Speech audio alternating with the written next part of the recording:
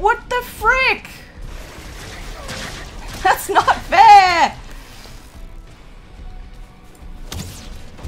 I have to fight a troll now too? Honestly, trolls in this game.